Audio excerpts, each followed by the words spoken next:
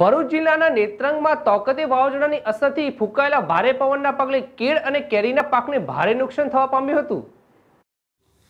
તાઉતે વાવાઝોડાની અસરના ભાગરૂપે ભારે પવનના પગલે નેત્રંગ તાલુકાના કેર અને કેરીના પાકને ભારે નુકસાન થવા પામ્યું છે.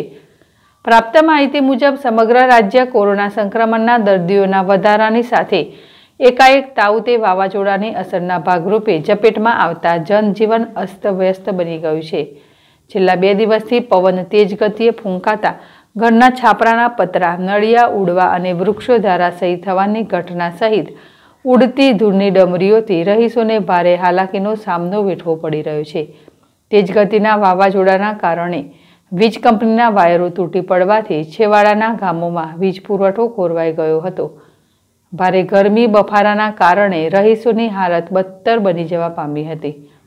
જેમાં મુખ્યત્વે તાઉતે વાવાઝોડાની મુખ્ય અસર ખેતી ઉપર પડી રહી હતી, જેમાં કેરનો તૈયાર પાક જમીન દોસ્ત થઈ ગયો હતો અને કેરીના ઝાડ ઉપરથી કેરીઓ ખરી પડી હતી. એંસી ટકાથી વધુ કેરી અને કેરના પાકને નુકસાન પહોંચ્યાનું અનુમાન સેવાઈ રહ્યું છે. ખેડૂતને ખાતર, બિયારણ અને ખેત મજૂરી પણ માથે પડી હતી. ખેડૂતોની દયનીય હાલત બની વળતરની માંગ કરી રહ્યા છે. તૌકતે વાવાઝોડાની અસર હાલ પણ વર્તાઈ રહી છે. આવનાર સમયમાં ભારે નુકસાન થઈ શકે છે. યાકુબ પટેલ છે ડેશ ટીવી ભરૂચ.